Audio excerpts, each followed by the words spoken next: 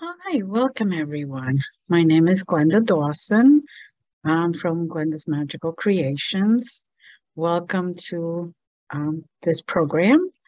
Uh, this class is going to be about crystal grids and the intention of the crystal grids. Now, we all know that everything has its intentions and crystal grids and heal, healing sets are just groups of stones and crystals that go together for that purpose. You know, these crystals, sets of crystals and stones are used for ritual magic, for spiritual crystal healing, for purposes like Reiki energy work, for intentions. You want uh, to ask the universe about uh, giving you more love, bringing love into your your world, bringing love into your life, for example. Not about anything specific, but just bringing love into your world, into your life, to bring healing into your world, into your life, to allow your higher self to really shine. There's a lot of intentions, a lot of different reasons we have crystal grids. When we're setting up a crystal grid or a crystal healing grid set, there are some general guidelines, and these are very helpful. For example, clear crystals are to remove any negative uh, energy that they may have picked up. For example, if I get a crystal like this I am going to do Reiki on it. I am going to actually smudge it, or I'm going to leave it out in the full moon so it gets recharged and gets cleansed. I also, some crystals can go underwater. Some crystals could go into sea salt. There are different methods. You could use sage, you could use incense, um, whatever is more comfortable for you. And at the same time, you need to ground and clear your environment, yourself and your environment before starting. You could set the greatest intentions, loving intentions for this crystal grid or using these crystals in a set. And yet, if you are in the dark, if you are not in the right place, if you are not grounded and your environment is chaotic, it not going to work. Or it may work, but it's not going to work with the intention that you set it for. So remember that. Also, focus your intention as you start to set up the crystals. For example, don't be distracted by personal concerns. Leave the phone on the side, turn off the TV. You know, don't, don't allow the kids to bother you. Don't allow anyone to bother you. Set your intentions and focus only on what you're doing. Because the more focused you are, the more of the greater the intention or the energy is going to be. When I do crystal uh, grids, I usually do it for healing. I do a lot of things. I also do them in my altars. I prepare them for a specific reason, like if I want to celebrate, say, the fall equinox or the autumn equinox or the winter solstice, each one of them has a different meaning and purpose, and each one of them has di- different crystals. I also set them up for love to come in, peace to come in in my life, for abundance to come in in my life, for me to let go of all the anger or anything negative that I may have. Also, it's good for those that you love. If someone is going through a surgery or uh, through a rough time, you could ask them. It's a form of a prayer, it's a form of intention.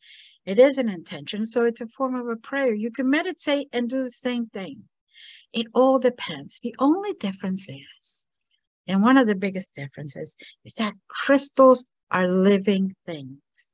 They have energy, they breathe, they've been around forever since the earth first was developed before it even been thought of being formed, of being here. You have all different types. And also I'm showing you all different shapes. Like this one is one of my favorite.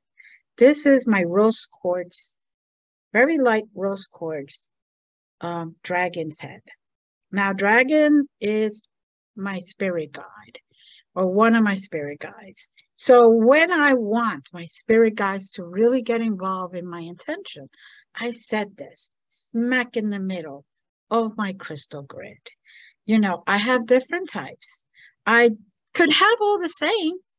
It could all just be little nuggets, doesn't have to be expensive. You don't have to go crazy. You could add flowers to it. You could add sand to it. You could add candles to it. You could add whatever it is to bring that intention to a new light, the energy. Now, here's a butterfly. Look at that butterfly. Isn't that gorgeous? Now, if you're looking for certain crystals and you cannot find them, you could always contact me. And I have uh, access to a lot of crystals and stones. Many are in beautiful shapes like hearts, as you can see right here. You can see as stars. Look at that. And it has, this one I love because it has a natural, natural uh, section where you could actually see the little clear stuff there. So keep in mind, okay, that when you're doing crystal grids, you could set the intention and add a type or a shape to help you. For example, this is spaceship. When I wanted to first start getting in touch with my galactic family, my friends, okay, on purpose and a certain time and day, I would put this. See how cute it is? let me see. There you go. Look how cute it is. I would put this right in my crystal grid. Now, I have hearts, as you can see. Look at this one. It's a beautiful blue heart. And everything has a different intention. Sorry, I'm reaching, but they moved on me. so the moon, what great energy that's loving and soft and caring energy, the moon, the feminine energy. I also have suns and I also have towers and all this stuff. I use everything. I use stones that I have picked up at, as I'm walking in in the fields or walking in the garden or I'm walking in a park or anywhere else. I have little sticks that I use with greatest intention. What beauty does it bring to bring a leaf that has just changed now in autumn to a beautiful color, red or orange, a yellow. Oh my God, the energy that that produces is great. Yes. So you don't have to just stick to crystals and stones. It's called crystals and stones grid because that's the main thing that you're going to energize it with. Now, these crystals and stones have many different uh, shapes, many different ways, but normally it is what we use is sacred geometry. Sacred geometry is wonderful. Sacred geometry has energy within itself, within itself, the grid. There's a lot of grids on Earth. There's a lot of crystal grids already below the Earth that is energizing Mother Earth, Gaia, that is energizing us, that is helping us, that's healing us.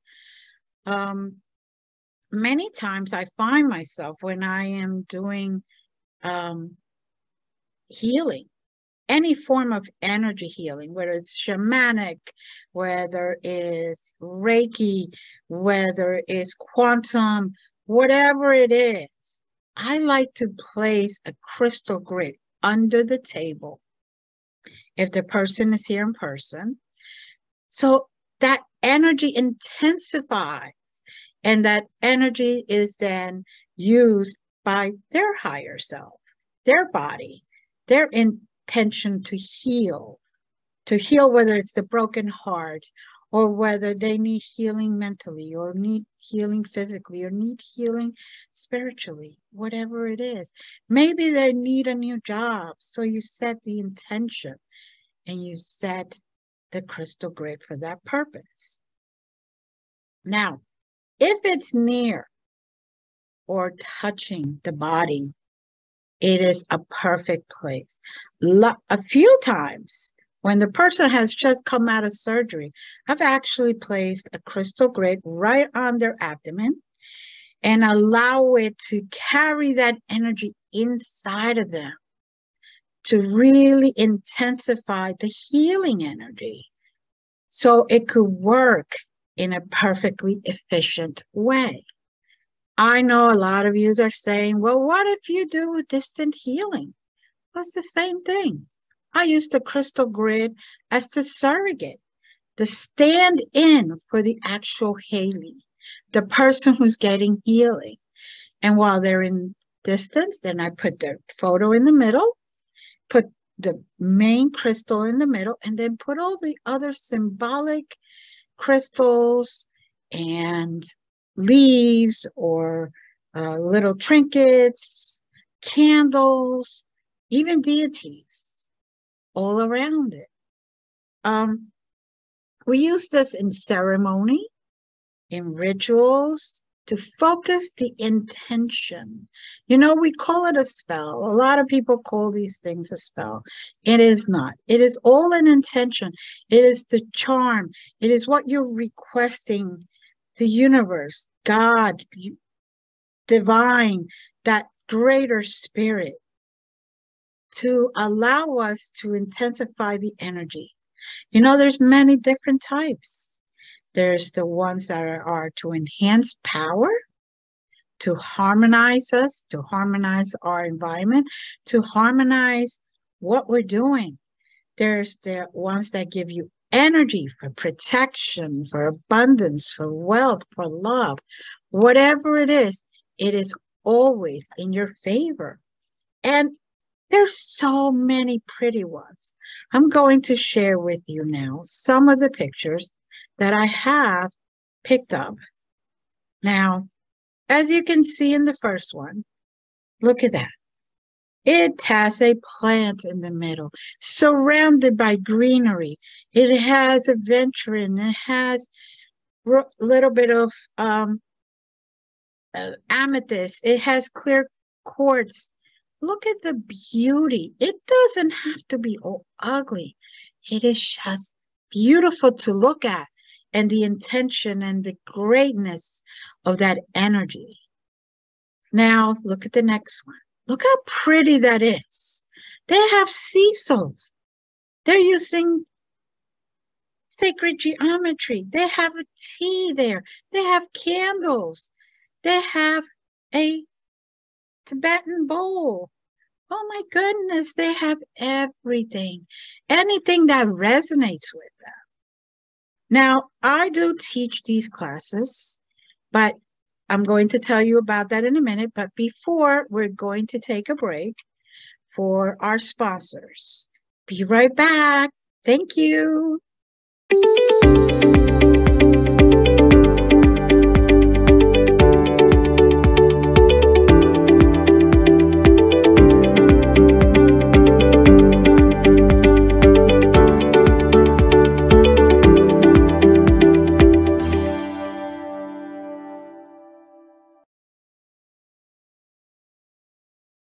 Welcome back.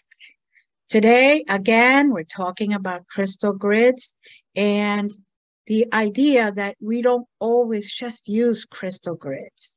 Crystal grids can be used for anything that needs amplification, any intention that needs amplification. Now, look at that. Isn't that a beautiful crystal grid? That is a healing crystal grid. You put whatever crystal you wish in the middle. Usually I like to put a tower in the middle. And then at every single point, I like to put something. Then in between, I put candles. Or if it's in the summertime, I have, oh, somebody has given me roses, I put rose petals. What a beautiful scene. Can you picture that? Under somebody's table while they're getting Reiki or on somebody's altar as we're honoring our ancestors or asking for forgiveness, asking for healing, asking for peace or abundance or even love to come into our lives. And when I mean love come into our lives, I do not mean a specific person because you know what? That's not how it works. You should never take away free will from anyone because you wouldn't like it to be taken away from you. And I believe everybody has a right to love whoever they want to love. As long as they are loving and receiving loving in a healthy, very healthy way. Now, isn't this beautiful? Now, I had somebody color it in for me because I like purple and I like those colors. And isn't it gorgeous? I don't know. It, it just inspires me now to do other grids for everyone. Now look at this. This is sacred geometry, crystal grid.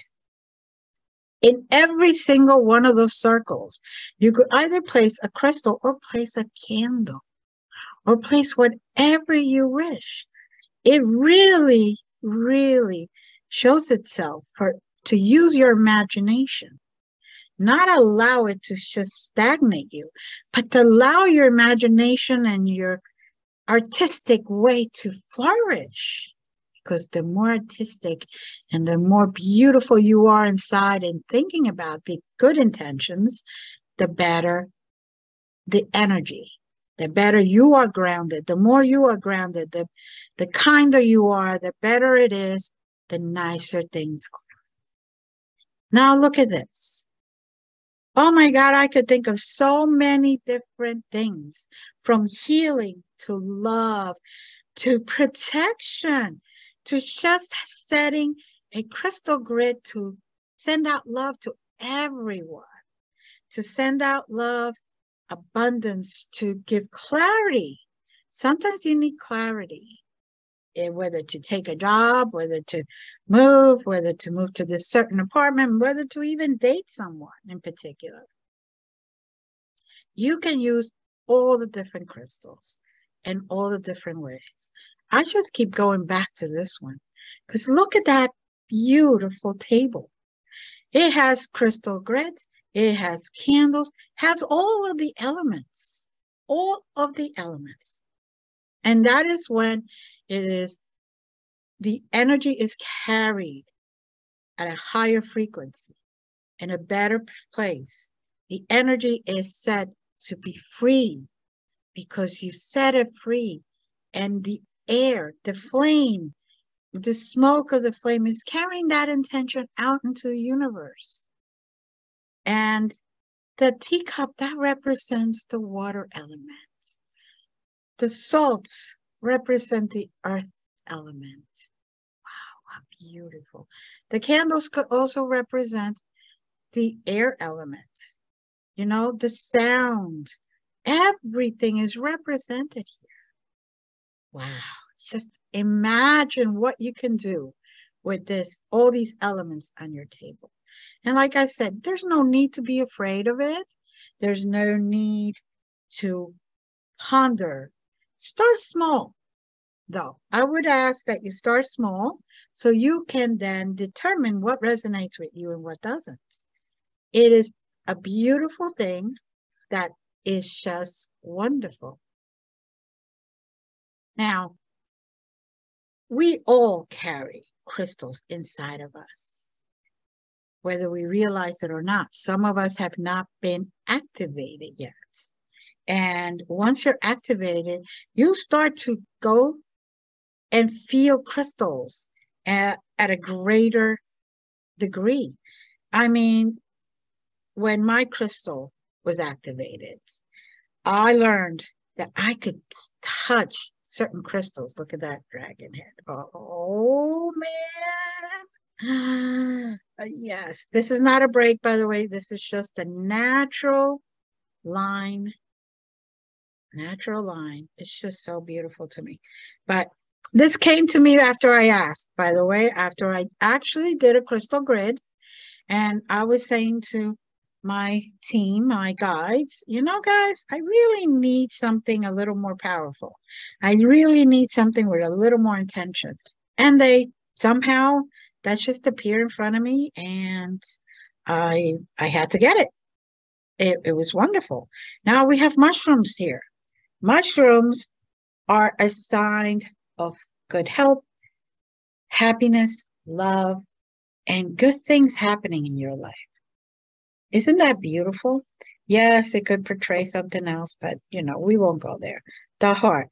This is a beautiful shaped heart. Look at all the different layers, all the different colors.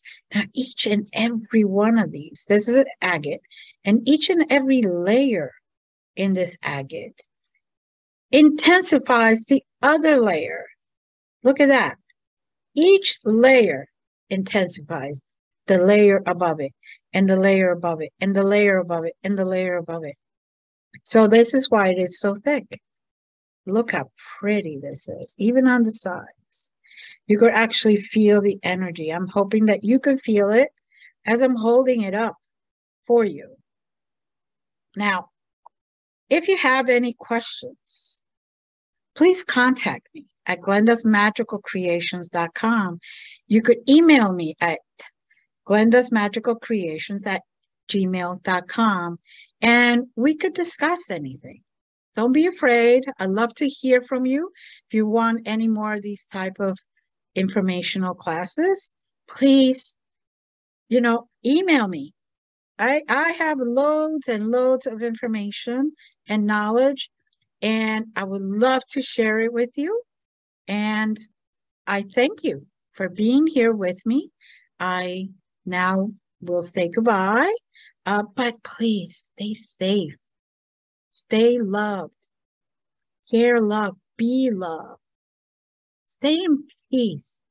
Don't react. Just allow the energy of peace to just resonate with you and flow out of you. So others around you can say, Oh my goodness, she is really that lighthouse. Or he is really that lighthouse. Or they, them. You are really that lighthouse. And I see it. I feel it. I know that we can all light that light and shine bright to be seen by the stars. Thank you. Love you all. Namaste. Looking forward to seeing you again. Hi. Bye. Thank you.